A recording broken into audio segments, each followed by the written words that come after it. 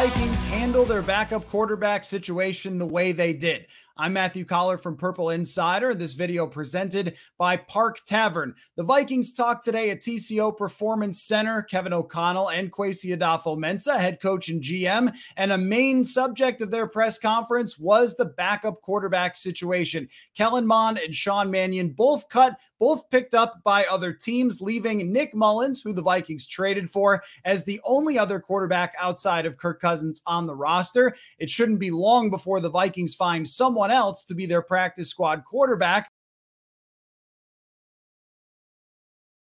But the remaining question left over is why they ran it back with the same combination of backup quarterbacks who did not work for them last year. Sean Mannion had to play in one game in Green Bay. That did not go particularly well. And it was clear from Mike Zimmer's reactions to Kellen Mond that they didn't feel like there was a whole lot of extra potential there with Mond to be quarterback number two. Do you think you want to get a look at Mond next week? Not particularly.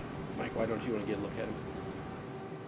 I see him every day. Kevin O'Connell said that he believes Kellen Mond will have a long football journey. He's a fan of Kellen Mond, but did not think it would be fair to him at this point in his career to have him as quarterback number two, one play away essentially from having to handle all the duties of a starting quarterback. And fans naturally are saying, we would have seen this coming. However, it seems like the Vikings brass wanted to get their own look at things. Sean Mannion had previous success as the backup quarterback of the Los Angeles Rams. In relative terms, he won backup jobs in Los Angeles, won a backup job in Minnesota, even if his on field performances weren't that strong. He was believed in by other coaching staffs. And Mond was a third round pick who some draft analysts felt could have and should have been drafted even higher. So the Vikings felt there was potential there in Kellen Mond, and Sean Mannion should be able to have, uh, handle the duties as a backup, but instead they decide to go with the more proven